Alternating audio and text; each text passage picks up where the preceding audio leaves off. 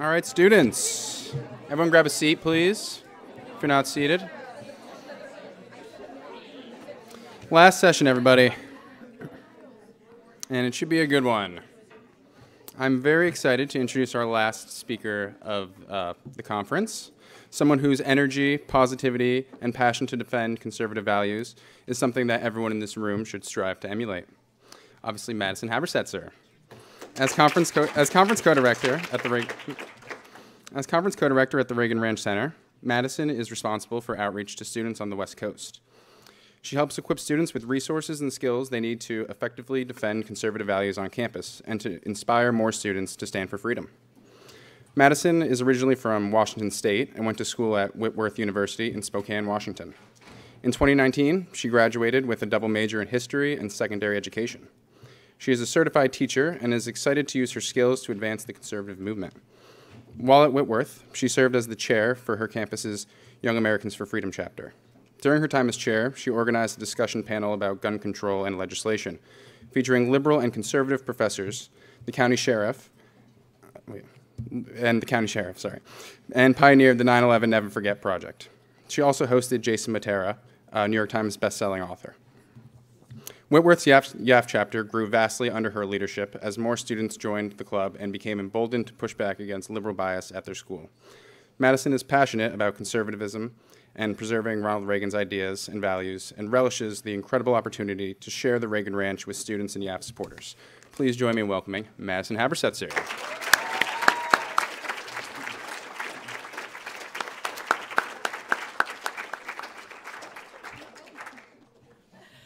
Well, thank you very much for that uh, warm welcome and introduction. It is truly an honor to be closing out the conference this week. We have covered a lot of ground, haven't we? We've talked about school choice, we've talked about free enterprise, we've talked about the pro life movement, so many things. And right now, I would like to talk to you a little bit about how to take these ideas back to your own campus. Uh, this is called Activism 101, and it's basically a crash course in advancing conservative ideas in your own campus communities. Uh, we're going to talk a little bit first about the activist mindset, how to prepare yourself to return to campus, and then also some actual effective uh, techniques to employ on your campus to help change the hearts and minds of your peers. So, the first thing I want to talk about today, oh, sorry.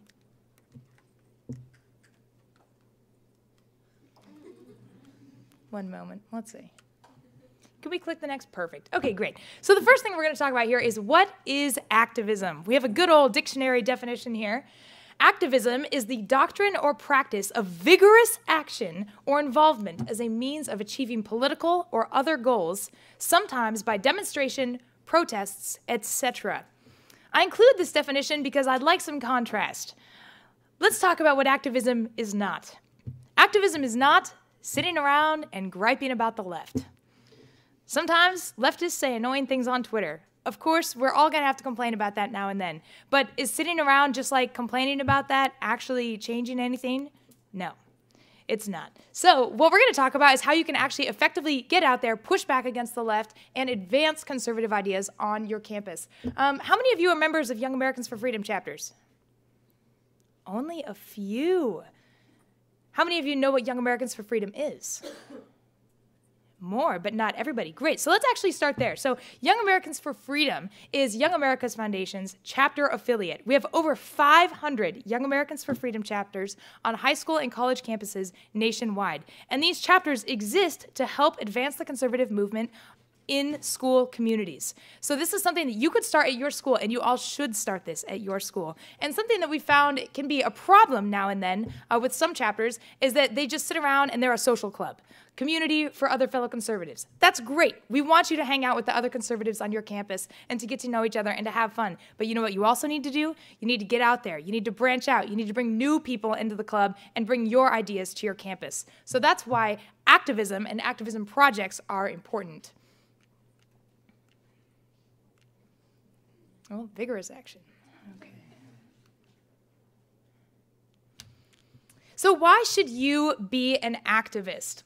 First, your campus needs to hear conservative ideas. Many of you go to very liberal schools. You might not have a single conservative teacher on your staff, or maybe you have one. That's great, but that's still more than a lot of people. And your campus needs to hear conservative ideas. High school and college are critical times of intellectual development. Uh, I have just a little story to share with you that I think is uh, really representative of this idea. When I was in college at Whitworth University, I was a sophomore and I was talking to this girl who uh, lived next door to me in my dorm. And I remember we were packing up to get ready to go home for Thanksgiving break. Uh, so she was a freshman, so this was like her third month of college, right? You start school in September, it's November. And she was like, Yeah, going home for Thanksgiving will be pretty interesting. Uh, my parents are pretty conservative, but since coming to college, I've gotten pretty liberal.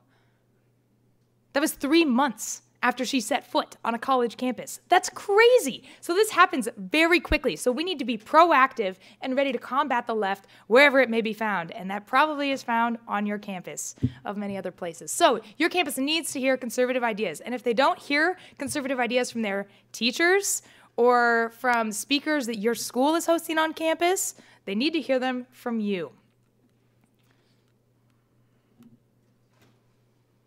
High school and college, critical times of intellectual development. And you need to remember that you have the best chance at making a tangible impact in your community. Oftentimes, when we think about activism, we think about sign waving outside the Supreme Court or doing something great that ends up with your face on Fox News. That's fantastic. And you know what? If you get that sort of notoriety, fame, awesome. It means you probably did something really impressive. But in terms of actually changing the hearts and minds of the people around you, you have the best chance at making a tangible impact in your community among the people that you already know. These are your classmates, your teammates, uh, your friends from school, your friends at church. This is really important that you actually speak up. Uh, I often hear students who think that their voice doesn't matter, that they're not smart enough, uh, they're not well spoken enough, they uh, just don't know their stuff, or that people won't listen to them. They think that they're not important enough or don't have a, an impressive enough resume, but you do. You just have to start. The main thing that you need is some clout and some courage. So get out there and speak up, and uh, we're going to talk a little bit more about tangible strategies to help you be effective. So, first, let's talk about the activist mindset. So, before you can actually get out there on campus and advance conservative ideas, you need to get right with yourself. The first thing you need to know is to know your values. Step one come to a YAF conference. This is a fantastic first step for many of you. Uh, maybe you came in thinking you don't know a whole lot about politics or why you're a conservative or if you're even a conservative. I hope this conference has helped you answer some of those questions. But this should just be the beginning. So you need to continue to know your values, know why free enterprise matters. Why does limited government uh, make more sense than government control? Why is it important to be pro life, pro gun? Uh, what are your thoughts on environmentalism? These are all questions that you need to answer for yourself so that you can effectively debate and discuss with other people. So, a couple of tips for you here. It is better to have errors of commission rather than errors of omission. Uh, let's talk about this for a second. What does commission mean? Anyone? What was that? When you do something. Great. Okay. And what is omission? when you don't do something or you leave something out, right? So it is better to have it, it is better to have errors of commission of doing something than errors of omission, doing nothing. You never want to look back at your time on campus and think, "Man, I really wish I had said something." They just pushed through this crazy leftist policy and I just sat idly by. America is under siege, truly. And so you need to get out there and fight for freedom. So you need to stand up, have some courage, uh, know your values, and then be ready to discuss those values with others. So, besides coming to a YAF conference, what else can you do to hone your values? You can do things like read. Uh, we're all actually going to give you a copy of this book on your way out today 11 Principles of a Reagan Conservative. I would highly recommend it. It's uh, 11 easy points that just breaks down basically conservative ide- ideology into bullet points that you can easily digest and explain to others. You should also check out YAF's YouTube channel. We have hundreds and hundreds of hours of lectures, just like the ones you've heard this week, and then also on campuses nationwide, uh, discussing the whole spectrum of conservative ideas. Check that out. Watch PragerU videos. Listen to Ben Shapiro. Uh, binge, listen to, and watch all of these things. That'll really help you know your values. And when you know your values, you'll be more confident when it comes to actually discussing these ideas. It'll give you confidence when you feel like you can actually defend the ideas that you're talking about. Oh, no. And finally, ignore the hate. We just uh, kind of blew past that. But this is really important. You have to know that you're not going to be able to immediately change everybody's mind. And some people aren't going to like talking to you. Uh, you're going to have uh, enemies on campus. I hate to say it, but there are people who want to shut you down. They want to cancel you. But you know what? You got to ignore the hate. You put on your blinders, you stand up for what's right, because what's right and true doesn't change. So you have the truth on your side, so you need to just ignore the hate and press on. I do have some good news for you in a bit uh, that it's not, it's not all bad, and there are a lot of people who are actually going to listen to you, and you can have some great discussions. So, this is uh, an important quote that I'd like to share with you uh, from President Reagan, of course. He once said, A leader, once convinced that a particular course of action is the right one, must have the determination to stick with it and be undaunted when the going gets rough. Sometimes it will be rough. I'll be honest, when I was an activist on campus, there were rough days. I ended up in tears a number of occasions, uh, but it was so important. Our cause is too important to let to to back down. We cannot let grass grow under our feet. Uh, our ideas are right and true, and they're worth defending. So uh, get out there and uh, let's let's get some work done. All right, so step one was to uh, identify the activist mindset, right? You know your values, you're gonna ignore the hate. The second thing you need to do is to identify your target audience. So before you even get out there and do anything on campus, you need to figure out who you actually want to talk to on campus. On every campus, there are three groups of students. Whether you go to a public school, a private school, a charter school, a Catholic school, any of these schools, there are always three groups of students uh, in some capacity. First, there's your belligerent leftists. They're usually a small minority, a small but loud minority of students on the left side of the spectrum. These are the kinds of speakers who want to, uh, you know, shout down Ben Shapiro. Or in my case, when I went to Whitworth, they actually canceled Ben Shapiro uh, and banned him from campus. Outrageous. Um, these are the kind of people who are going to protest your events and maybe call you rude names when you're out there tabling on campus. They are not your target audience. They are entrenched in their ideas. They are not ready to have a productive conversation with you. These are the kind of people that you're going to put on your blinders and you're going to ignore the hate. They're not your target audience. The second group of students on your campus is your outspoken conservatives. That's you all your homies, the people you bring to YAF conferences, your 20 students from Cedar Park Christian who represent.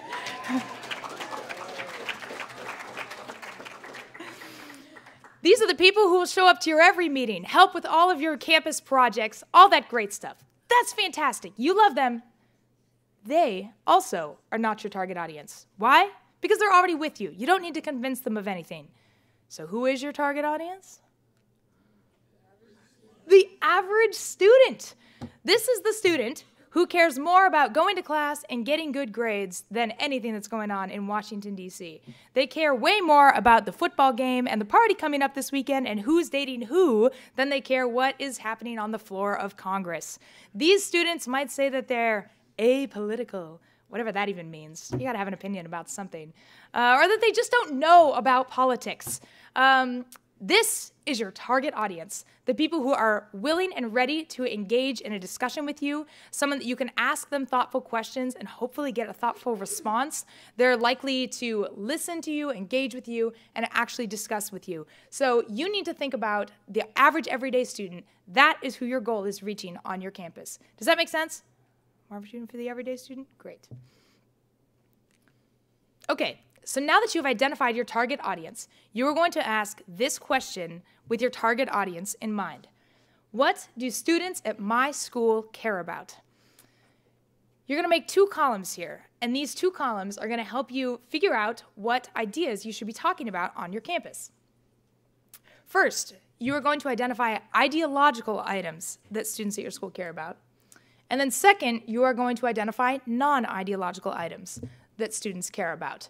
Some examples here. Ideological items could include things like the environment. This is actually one of uh, the most significant things that young people in this day and age care about. Uh, the green movement is huge. People ca- they care about electric cars and making sure that the world is still going to be in existence 10 years from now because apparently it's supposed to end in 10 years according to AOC or I don't know, but more false predictions. So they care about the environment. Uh, they care about things like socialism and communism. Uh, I don't know if you've seen this on your campuses, but I certainly saw it at mine, where uh, it was like cool to be like, yeah, I'm a communist. And you're like, really? Do you know a whole lot about communism? Have you opened a history book? Uh, but apparently it's pretty trendy. And then you have your Bernie bros out there too. Gun safety and gun control. This might be an important issue on your campus. Is this something that people are talking about, whether they're pro gun or anti gun? Uh, if that's an issue that comes up a lot, you should consider addressing it. And finally, feminism and uh, the trans LGBT movement. That's another huge one. At my school, everyone who was anyone went to the Women's March every single January. It didn't matter if you like didn't care about politics or whatever the whole rest of the year and didn't consider yourself an activist in any capacity. You were going to the Women's March. This was a huge thing, uh, as was the pro-life movement at my school. Have some good stories there. So those are ideological items, like political issues uh, that are up for debate. Does this make sense? You get what we're going for? What are what are some other ideological items that could be on this list? What? Shout them out. Border security. Border security. Capitalism. Capitalism. Abortion. What else did I hear? Immigration. CRT. That's a huge one. Yes. Yes. So these are just a few items on your list, and this this could be a very long list, and it should be a long list. Uh, the more you can cover, uh, the better off you'll do. And here's a pro tip: when you're thinking about trying to identify the ideological items that your students care about, think about what people are posting on their Instagram stories. That is a quick and easy way to find out what people care about today, right now. You remember the Black Square Tuesday, that thing that like Instagram was only black squares for like an entire day? There you go. Um, or all the stuff in Ukraine. You could talk about that. Everybody's posting about that. Uh, whatever it might be, check people's Instagram stories. It's a great way to find out what um, is trending right now. The second list you're gonna make is of non ideological items. Uh, this will make a little more sense in a minute, but these could be like pop culture. This could be anything that students at your school care about and like. Things like the latest show on Netflix. I can only ever use The Office as an example because it's the only thing I watch. Uh, but if people at your school are watching that, great, write it down. Football. Maybe football is the big sport at your school. Or basketball. Could be swimming, whatever. Pizza. Who doesn't like pizza? I think this is like a pretty universal unifier, in my opinion. Uh, or video games. Uh, whatever, I don't play video games, so I have no examples. The other one I always use is Frisbee. Ultimate Frisbee was like a super big deal at my school, so that would be on my list. But basically, what you want to do here, you want to identify the ideological item that you want to talk about, and you're going to use the non ideological item as a vehicle for discussing the ideological item. For example, let's say socialism is like really trending on your campus. You have all the, the young democratic socialists are just taking over everything. And uh, you decide that you're going to educate people on the true horrors of socialism. So, what are you going to do? You're going to have a freedom and frisbee event. And you're going to invite everybody out for a game of ultimate frisbee, and you're going to talk about the merits of free enterprise over socialism. Hmm? Great idea. Or you could have a um, you could have a Greenpeace party, a Greenpeace pizza party, where you're going to invite everybody for a night of pizza and discuss a free market approach to environmentalism rather than government control and the pros and cons of government regulation of business. Great idea. So you use these fun things as ways to attract people to your activism events so that you can actually discuss the ideas. Does this make sense? We're tracking? Great. Oh, okay. So we encourage you to get really creative with these projects. There's a lot of ways that you can go with these, and you need to figure out what works for your campus. Uh, one of the tools, though, that is most effective on most campuses is tabling. So we're going to get a little bit into the nitty gritty of effective tabling techniques right here. Uh, tabling, if you don't know, this was actually a term that was unfamiliar to me when I first became an activist. is setting up a table. And you're going to talk to people about your club and what you do and about conservative ideas. So uh, let's talk a little bit more about how you might do that. So, some pro tips here for you. Number one, make sure your table is organized. You know all those uh, YAF stickers and pins and buttons and pamphlets and all that we have back there?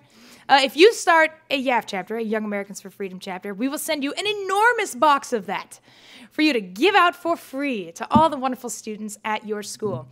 Uh, and I cannot tell you how many times I've showed up to uh, campus events with students to help them table, and I walk up to the table, and there's all this stuff just like pff, dumped.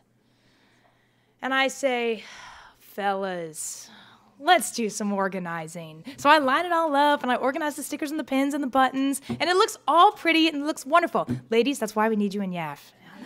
Help them out. Help them out. We need some organization, some interior decorating skills.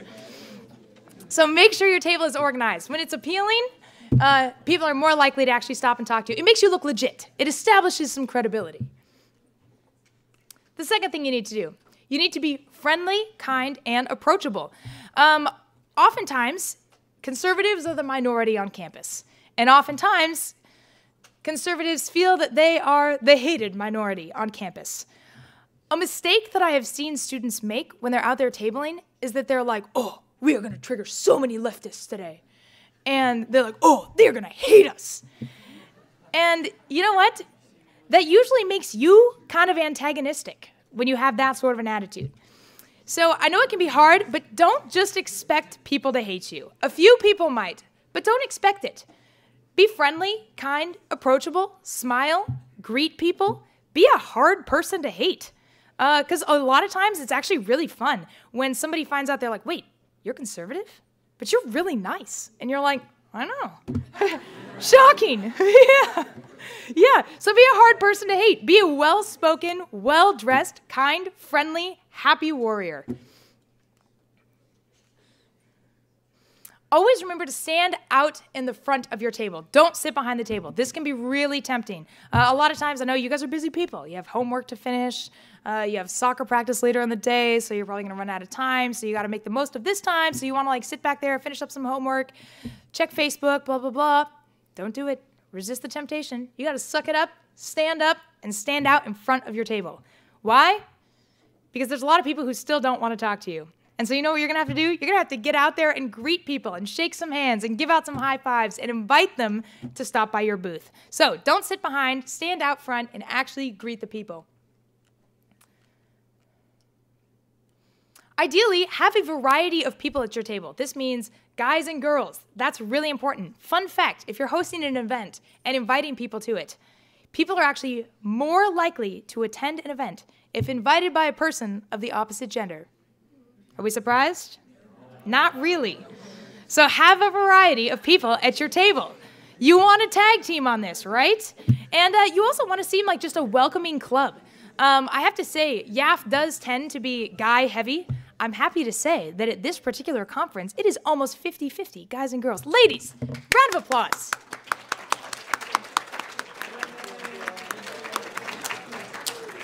That is so wonderful. So take that energy back to campus. I want to see you all at every YAF meeting and bringing in more people to your club. So invite your friends, bring them to your club.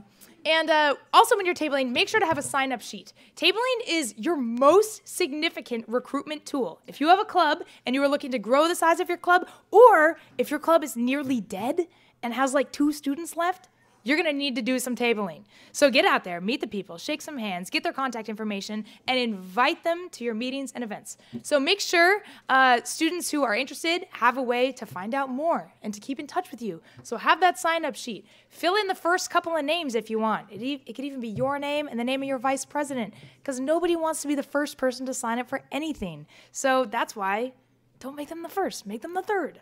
Just write in some names. Uh, you can also make a digital sign up sheet with a QR code. There you go. Welcome to 2022. Pretty slick. Write to a Google form so you don't have to worry about reading people's crazy handwriting and stuff like that. Would highly recommend. Part two of tabling.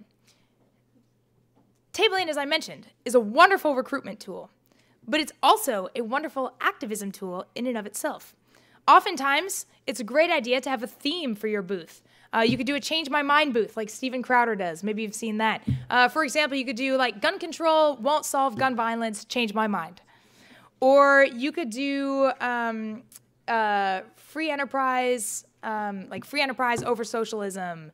Or you could talk about uh, the pro life movement. We have uh, a pro life display that you could do as part of your tabling uh, event.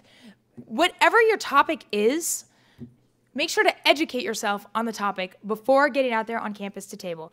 Uh, if you remember, I said that you should know your topic inside and out so that you are ready and prepared to discuss it. You want to be able to give a valiant defense of conservatism, of conservative ideas, and also, you want to be confident when you're talking about it. You don't want to be nervous about whether or not you're going to say the wrong thing or say the right thing or remember the correct facts, whatever. Make yourself a cheat sheet, do your homework. At your previous YAF meeting, watch a PragerU video about the topic or uh, look it up in here, see what uh, Ronald Reagan says about free enterprise so that you have his quotes ready in your brain to use during these discussions on campus. So make sure to educate yourself on the topic. And again, the topic that you choose should be one that students at your school care about because you want them to be interested in what you're talking about and invested in your ideas.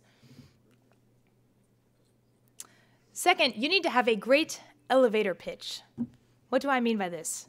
This is your like one to two minute spiel that you can give people about your YAF chapter and why you're there. For example, someone comes up to your table and they're like, What is YAF? And you're like, I'm so glad you asked. Let me tell you. Young Americans for Freedom is a conservative educational organization committed to ensuring that increasing numbers of young Americans hear and are inspired by the ideas of individual liberty, strong national defense, and traditional American values. We do this by hosting campus activism projects such as the 9 11 Never Forget Project and Freedom Week, and also attending amazing conferences all around the country, including at places like the Reagan Ranch in Santa Barbara, California. Would you like to come to our meeting this Thursday in Dixon at 2 p.m.? A few.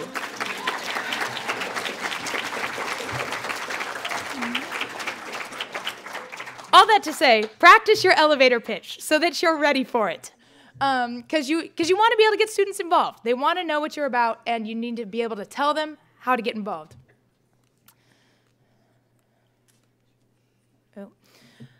You also want to uh, be able to approach people and have something to engage them. I mentioned that there's a lot of people who are going to want to blow past your table. I'm kind of notorious for being like a pretty aggressive tabler, but aggressive in a good way. For example, somebody's like walking down the hallway and they see me up ahead and they're like, oh no, no, like nowhere to run. And I'm like, yoo-hoo, like hello, are you familiar with YAF? Uh, you're gonna have to do a little bit of that. You maybe don't have to do it quite like that, but you need to be ready to actually get out there, greet people, ask them how their day's going. You have to have a great opening line. It could be as simple as, hey, do you love freedom? Hey, do you love America? Uh, something like that. Something to actually get people to stop and talk to you. So you need to do things like ask a question. Like I said, do you love freedom? Do you love America? Or it could be something like, hey, have you heard about our event tonight with Ben Shapiro? And then they're like, no, I haven't. And you're like, great, let me tell you about it. Ben Shapiro is coming to campus tonight to speak about blah, blah, blah, blah, blah, in room blah, blah, blah. You know, cue the elevator pitch. You could also ask things like, hey, are you familiar with Young Americans for Freedom? And they'd be like, no. And you're like, great, let me tell you about it. Cue your elevator pitch. But it's very important about the way you phrase the question. L- listen very carefully to this. This is a this is a pro tip, one you're want to tuck away. Don't ask questions like, "Hey, do you want to know about YAF?" No. That just shuts you down, and then you, you have nowhere to go. But if you ask, "Hey, have, do you know about YAF?" and they say no, and you're like, "Awesome! Let me tell you all about it." Yeah. Hey, have you heard about tonight's event? No. Great, let me tell you. Do you want to come to tonight's event? No. So don't ask something that they can just say no to and end the conversation. Ask the question in a way that leads to further conversation. You get what I'm saying here? Yes? Yes? Okay, good, good. You could also do something like take a poll. This is great. This is just another way to get people to actually stop and talk to you. Uh, one example that my YAF chapter used is when uh, Brett Kavanaugh was being confirmed to the Supreme Court and he was going through all those brutal Senate hearings. We did a should Brett Kavanaugh be confirmed to the Supreme Court or court uh, poll, and we asked people on our campus to stop and vote, and they like voted on a whiteboard, just tally marks, uh, and then just asked them to stop and explain why they chose uh, yes or no, and to just kind of debate that issue a little bit. So you could do that with all sorts of things. You know, do you agree with uh, gun control? Yes or no? Um, do you agree that uh, the United States should not invade Ukraine? Uh, whatever is the, the topic of the day, make a poll out of it. You can also hand them a flyer. This is another actually really great way to make people stop and talk to you. Uh, but when you hand them a flyer, again, you're not going to say, hey, do you want a flyer? What are you going to do? You're just going to hand them a flyer and say, hey, here's a flyer. Yeah, have you heard about tonight's event? Have you heard about Young Americans for Freedom? Something that's going to make them actually engage with you. Take it. Um, don't just let them blow you off and walk away. And finally, when you're tabling, always remember to follow up. After a successful day of tabling, you probably have a long list of people who are excited to get involved with your YAF chapter and come to your events. So make sure that you follow up with them. It is a great tragedy when we just let all that wonderful contact information get lost and go to waste. So don't forget to do that. Follow up with your new contacts. Um, and just another piece of encouragement make sure to table often. Like I said, it's a great activism project in and of itself, but it's also so important for recruitment. And you would be shocked how many students on your campus don't even know you're there? Which is terrible, even if you're active. But like at Whitworth University, it was shocking how I'd be out there tabling all the time, and I would always find somebody new who was like, I didn't even know we had this club. And I was like, dude, where have you been? Like, I'm out here all the time. But there are always new people, and there's more conservatives than you think. They're usually just kind of hiding and quiet. So if they find you, they find conservative friends, uh, they know that there's community, that they're not the only one, uh, you really have an opportunity to help embolden them in their own beliefs. So get out there and uh, help uh, advance conservative ideas on your campus. Another project you could do on campus is hosting a speaker. This is one of the best ways that you can advance conservative ideas. YAF helps bring speakers to hundreds of campuses every year. We do this professionally. And guess what? You know some people on the inside. That's us, us at YAF. We know how to do it. We can help you. And you all could bring a conservative uh, speaker to your campus. You're not too young, you're not too inexperienced. Even if your YAF chapter isn't that old, if you want to do it, we can help you do it. So if you're thinking about hosting a speaker, the main thing that you should do is always go back to what ideas are important to students at my campus, and you want to find a speaker who is best going to address those ideas. For example, if uh, let's say that abortion is a big issue at your school, uh, well, you might love Ben Shapiro and want to bring him to your campus, and honestly, he's really strong on abortion and the pro life movement. Perhaps uh, Bay Buchanan or Allie Stuckey would be more suited to your school, uh, that they would best be able to address that issue. Or if, um, let's see, what's, what's another example? Oh, if China was a big issue on your school and people were really worried about China and what's going on over there, Newt Gingrich would be a fantastic option to discuss that. Uh, he has a lot of background in foreign policy. So you always need to think about which speaker would best address uh, the ideas that are most important to students on your campus. Uh, so make sure to keep that in mind when considering which speaker to bring. A few other campus initiatives that you could bring to your campus. Uh, these are ones that are designed by and built by YAF and basically ready for you to just implement. You don't have to do anything except execute on your campus. We've already prepared all the materials for you, the instructions. Uh, the 9 11 Never Forget project is our flagship campus initiative. Uh, this project commemorates the victims of uh, the 9 11 terrorist attacks every year 2,977 uh, people who were killed in those terrible attacks. And this project is done on hundreds of campuses nationwide every year. So if you haven't done this one yet at your school, make sure to sign up next year. Uh, other projects include Freedom Week, which commemorates the fall of the Berlin Wall and also coincides with Veterans Day. Uh, the GPA Tax Day video contest is a really fun one that uh, blasts the evils of socialism. and uh, a lot of, a lot of really fun. I love that. Um, yeah, I love that project. Uh, so these are just a few of the campus projects that you could do at your school, but we also encourage you to build your own projects. Always go back to, you know, what do students at my school care about, both ideologically and non-ideologically, and how can you best advance conservative ideas at your school? If you're thinking about building a new project, trying something out, and you're not sure if it'll work or if it'll be effective or if it'll be well received, go ahead and call National YAF. We are here to help you and to coach you on campus through these things. So uh, give us a call. We're happy to help workshop these projects with you. Also, I think a really underrated piece of activism is writing editorials. If you have a campus newspaper, make sure to utilize that. Um, for example, uh, let's see, well, let's get into some things here. Make sure your topic is timely and relevant this is a really great way to get people talking about ideas that are important uh, that are going on at your school. And these might be things that people aren't paying attention to. Uh, for example, not too long ago in uh, Burbank School District, of Mice and Men, To Kill a Mockingbird, and Mark Twain uh, were banned from their school's curriculum. And actually, two of our students are here with us, Ani and Paige. Everyone wave at Ani and Paige. Oh, you're there too? That's great. And Luke also goes to Burbank High School. And uh, they quickly spoke up against this book ban and actually spoke before their school board meeting, which was fantastic. Uh, but something like that, you could do that, or you could similarly write an editorial. Uh, write to your campus paper about, you know, why uh, this policy uh, should be reversed, uh, why the conservative approach to freedom of speech and censorship is important. So, whatever it might be, you can always address it in an editorial editorial. You also have to remember that your editorial doesn't have to be super long. When Ben Shapiro was banned at my campus, I immediately uh, published an editorial in my campus paper that was only about 300 words about the dangers of censorship and the value of freedom of speech. And they actually emergency published it because it was so timely. Uh, they published it within like two hours of me sending it in. Uh, so it doesn't have to be super long, but it does have to be timely. And remember to use your fellow YAF team members. Uh, have your fellow YAF members edit. They can help refine your ideas, improve your ideas. Uh, if you're nervous about whether you've said the right thing or if you've missed anything uh, or if it was tactful enough, uh, have one of your fellow YAFers read over it. You can always uh, help improve each other that way. And the final thing I want to get to here before taking a few questions is some traps to avoid.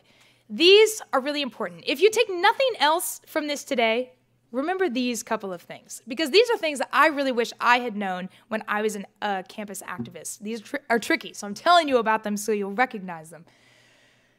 Number one, it is a trap to try to appease the left. This can be sneaky. This could be leftists telling you to consider bringing a speaker who is more educational. For example, when I was going to bring Ben Shapiro to Whitworth, I had not one, but two professors sit me down on different occasions and ask me to consider bringing someone more educational than Ben Shapiro. I like, I'm like, where would I even find this mythical person?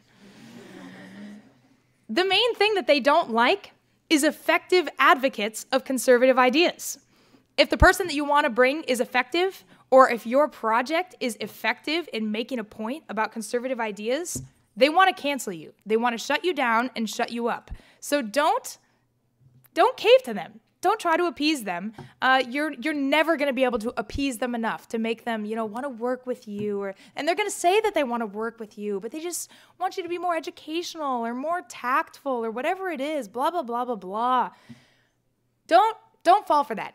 You always want to be tactful. You always want to tell the truth. And you always want to be gracious, right? You don't have to be, you know, in your face fighting the left all the time. You always want to be kind, to speak with grace, but tell the truth. So don't bother about trying to appease the left because they they don't want to work with you. They want to shut you up. Similarly, don't ever apologize for your ideas or your group's activities. When I brought Jason Mattera to campus, he's a New York Times bestselling author who uh, he gave a speech on my campus called "The Woke Mafia: how the left creates a campus of self righteous victims. And he talked all about political correctness and he blasted all these crazy leftist ideas on my campus and even specifically attacked my university president for some affirmative action policies that he was instituting on my campus. And oh my gosh, there was weeping and gnashing of teeth.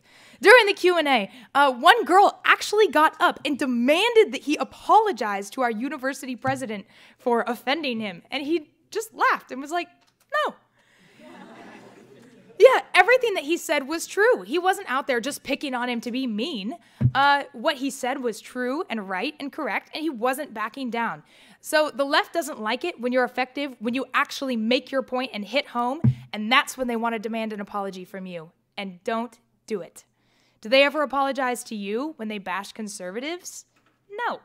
Do they apologize to you for calling you and your grandparents racists? No. They never do. So don't let them demand that of you. You do not owe them an apology.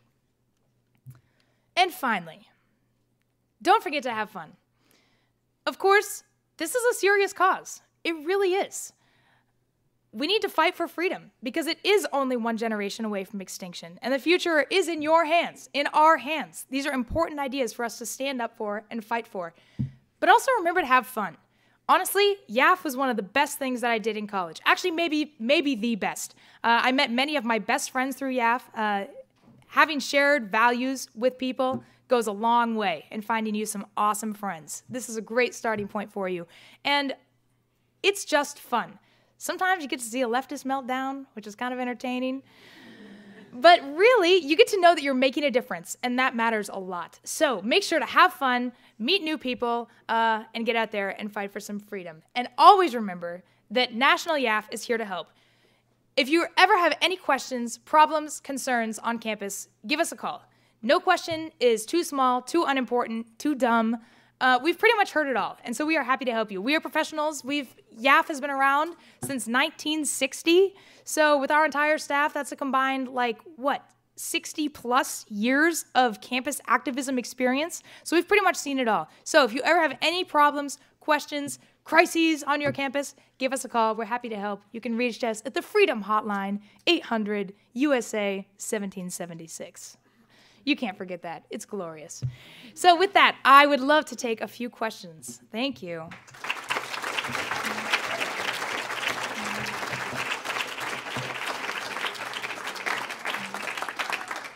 All right, if you have a question for Madison, line up by the tape over here.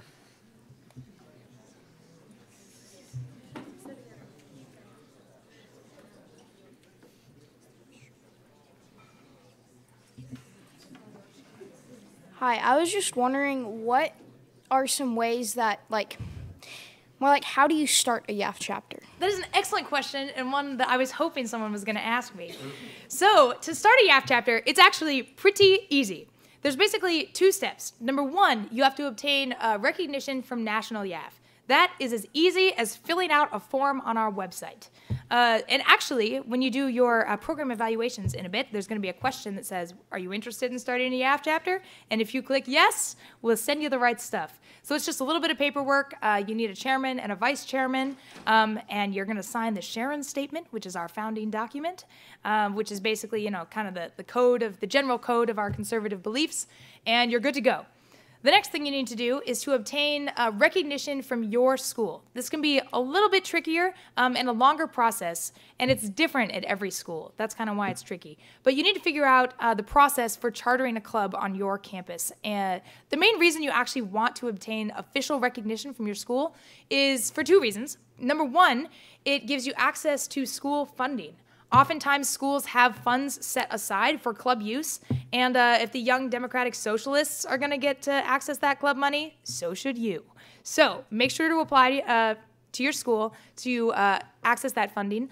Also, it's important to be recognized by your school so that you can reserve event space. You're always going to need event space, whether it's for your you know weekly or biweekly club meetings, uh, for a space to put up the 9/11 Never Forget project, or hopefully to host a speaker on your campus. So you need your school's support for that. So those are the the primary two steps to chartering a chapter. Um, some of you have maybe heard that you know there can be roadblocks to starting YAF, um, or you know school administration that doesn't want YAF on your campus and they'll try to fight you. That does happen sometimes. I'm happy to report that most of the time that doesn't happen. So uh, it should be pretty straightforward for you. But if you do have any questions, like I said, call YAF. We've heard pretty much every possible objection to YAF in the book. So we can help you proceed. Um, and oftentimes there is a route to still continue bringing YAF to your campus. So um, apply for recognition at your school. And if they try to deny you, we can help you out. Thank you. Thanks.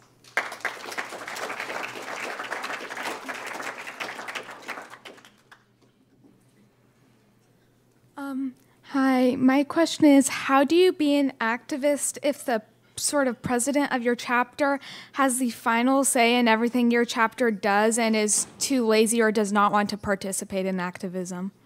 That's a great question, uh, and definitely a tricky one. Something that I would encourage you to do is to still continue to suggest activism projects and just volunteer to do it. Ask, hey, can I head up the 9 11 Never Forget project this year? Ask for her permission. Give her the permission to give you permission to do the project. Uh, that's a really great way to do it. Hey, can we table this Thursday? I'll call and reserve the space. Uh, that's a really great way to do that. Um, and you also, if she, if she really is that disengaged, uh, you could you could volunteer, just volunteer to help, volunteer to be the vice president if there's not one, uh, or to come to more meetings, whatever you can do. Just volunteer more, put yourself out there, and get it done. Um, But like the president of my chapter, he has a lot of excuses such as, mm. "Oh, it's at lunch. Oh, not many people can do it after school." So and he completely shut down the vice president of our club on one thing. Yeah, but you could say, well, that's okay. I know it's during lunch, but I'll volunteer. Okay. Yeah, and get some people to do it with you. Say, you know, me and so and so. Yeah, we'd love to. We'll we'll man the table while you're at lunch. Totally fine. Don't even worry about it. Okay, thank you. You're welcome.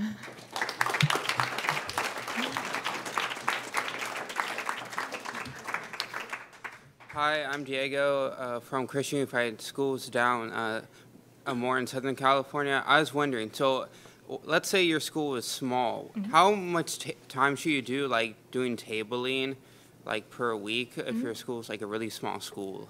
Sure, that depends a little bit, and I, I think that that's important to recognize that every school is different. So there's not a one size fits all formula for campus activism. It will look different on every campus, um, and even just based on how conservative your school is. If most of your school is conservative, that's awesome, and your campus activism is going to look different than it would at a large public school where, like, most people are pretty liberal. Um, I'll maybe get into an example about that in a moment. But if your school is smaller, um, you you're not going to have to table every week if they all already know you exist. But uh, you should still find regular intervals to be discussing the important ideas and issues. So um, maybe every other week makes more sense for you, or even once a month uh, once a month and you go to a YAF conference once a semester. Uh, that might work well for your school. Uh, but if you go to a bigger school and if you have a large club with a lot of members and you can pull off tabling every week, you absolutely should do it because you're always going to reach new people. That's the main thing. You want to reach new people and keep your existing people engaged. So that's one recommendation that I would say for the size of the school. And then uh, one more thing I'd like to say about the specific activism projects at your various schools. I know that we have a lot of students here who go to Christian schools and some pretty conservative Christian schools. That's awesome. Just because you go to a conservative Christian school doesn't mean your school doesn't need YAF, and it doesn't mean that you don't have to talk about these ideas. That's great that maybe more of your teachers are on board with conservative ideas and are perhaps talking about it in class, but I have seen far too many examples of students who went to you know a little christian conservative school for 12 years of their life and then went off to college and overthrew everything because they're like ah oh, that was just my teachers. That was just my parents. You know nobody in 2022 actually believes that. You know oh we're woke and progressive and young and we know way better now. Not true right? So you need to actually be uh, combating these leftist myths and lies all the time so that you can be prepared uh, to face them in college and that you can prepare your classmates to face them in college. Uh, so don't let apathy grow there either. Still important. Thank, you.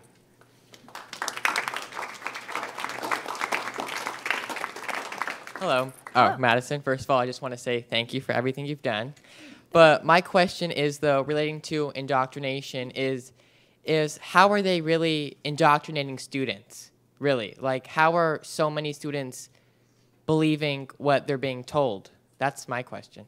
Great question. I I think it can happen really potentially subtly, but so often it's just for a lack of a conservative perspective. Hmm. I think that's especially true in, this might be bold, but English and history classes. The books that are chosen for literature, you know, suddenly we're throwing out all of the classics and we're reading all this modern woke stuff by either uh, authors I've never heard of or Ibram X. Kendi. And it's like, where does this come from? And there's never another perspective. And I think that that's really where the problem comes in. Even when I was in college, I think a good example of this, uh, I did have one class where we uh, were supposed to read two uh, contrasting perspectives. Uh, one was Ibram X. Kendi's book. He's the one who actually coined the term uh, anti racist. You've probably heard that. He's significant in the CRT movement.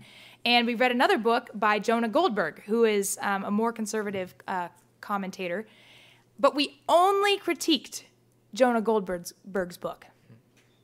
So it was like, yeah, we have these contrast, balance of ideas, but interesting that one of them, one author, the leftists, gets to be 100% correct, and we're only going to critique the conservative. So I think that there's a lot of instances like that in the classroom, uh, based on just even you know the books that are um, being read. Uh, a lot of I've, I know a lot of history teachers who show CNN 10 every day at the start of their class. So that's your only news source. That's the only thing that we're actually showing in class every single day. So, so much of it is just for lack of an alternative perspective. Um, and then, of course, you also do have, uh, you know, leftist teachers who get up there and monologue and will rail against conservatives and against Donald Trump and blah, blah, blah, blah, blah, blah, blah, um, without ever hearing any sort of But uh, do you, contrast. Do you think there? Are, do you think all the students are going to believe that? Like, for example, let's say you have Mm-hmm. to take a class on Marxism, for example, and you might do something where maybe you might do the class, you might do well, you might get A's, you might study Mm-hmm. hard, but that doesn't mean you're gonna believe it or you're gonna become a Marxist. I wish that were true, but I think too often students really do believe what their teacher tells them. But it's gonna get it's gonna get them to think though. You you would think, and maybe it gets you to think, and that's awesome. It probably gets all of you guys to think. Uh, but there's a lot of students that that's just not true for them. And if they don't actually aggressively hear another perspective, a contrasting idea, um, that they will just believe what they're told, and they'll go along because why not? Their teacher was supposed to know. Your teacher is supposed to be credible. Um, not that I'm saying you don't have any credible teachers, but Yeah, it does but, happen. but even if you're like a capitalist, you still think that even them, they go through Marxist class, you still think that they're gonna believe it? You would be shocked. And it even comes just by baby steps. You know, they think, eh, well, maybe Marxism isn't quite as bad as I thought. Maybe it just hasn't been implemented correctly. These are all myths that can sneak in. Uh, and something that I always like to remind students is that no one's mind is ever changed in a day.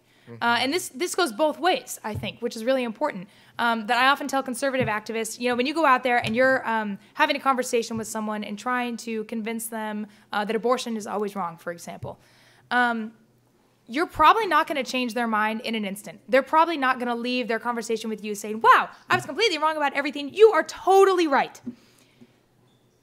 More likely, they're going to move incrementally. And this could take a long time. It could take years for some people. Some people, it's more, uh, it's a, it's a quicker transition. But um, you might change their mind on one point, or just plant a seed, a thought that you're like, huh, I hadn't thought about it that way. And you move just a teeny tiny bit uh, until maybe eventually, after a couple of years or a couple of months, your mind is completely changed. And I think that that happens with conservatives as well. And I think that that's where we see young conservatives who are raised in conservative homes by conservative parents, and then slowly over time, their leftist teachers moving them a tiny, tiny bit more each day. So I think that that's really where you see the change happening. Okay, thank you. Thanks.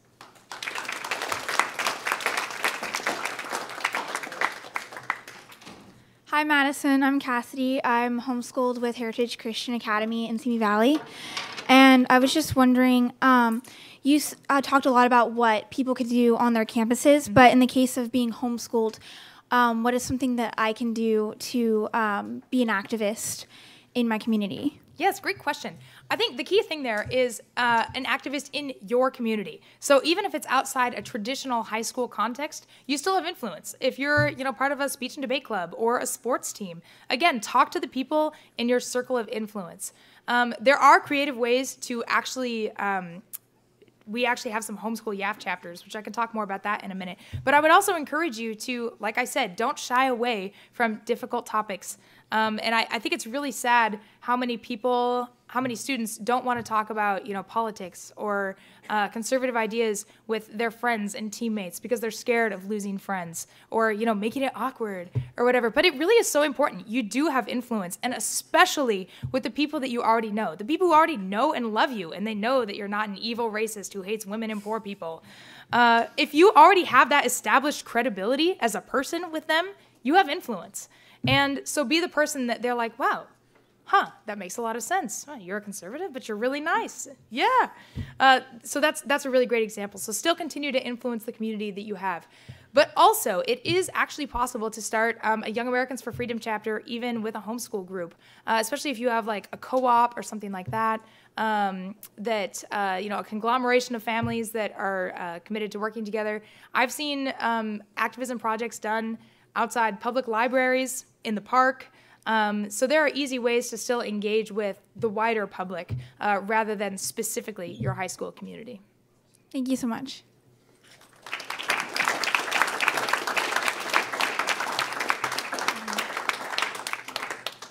Hi, I'm Reagan Newfine. I go to a private Christian school in Omaha, Nebraska, and I was just wondering, we used to actually have a YAF chapter at our school for about four years, and there was a lot of kids in it, but about two and a half years ago, it got shut down and there was like a whole big like a lot of problems with it and i was just wondering what your thoughts are on restarting that or if you have any advice on that 100% do it your campus needs yeah and uh, I, I, think it's especially important and especially satisfying to uh, rebuild on campuses that used to have a YAF chapter and then it lapsed. Um, you have an amazing opportunity to start over with uh, hopefully a clean slate. And the nice thing about high school is students graduate and if they were if there were problem students who like gave YAF a bad rap, if they're gone, great, you can start over. Uh, and you can you know be productive and uh, form the chapter the way that you would like in the most you know effective way that you would like. Um, it could be a little bit trickier potentially with your school administration if they got shut down. But again um, just attempt see what they say and if they push back against you call yaf and we'll help uh, we'll go from there. Thank you thanks Thank you, everybody.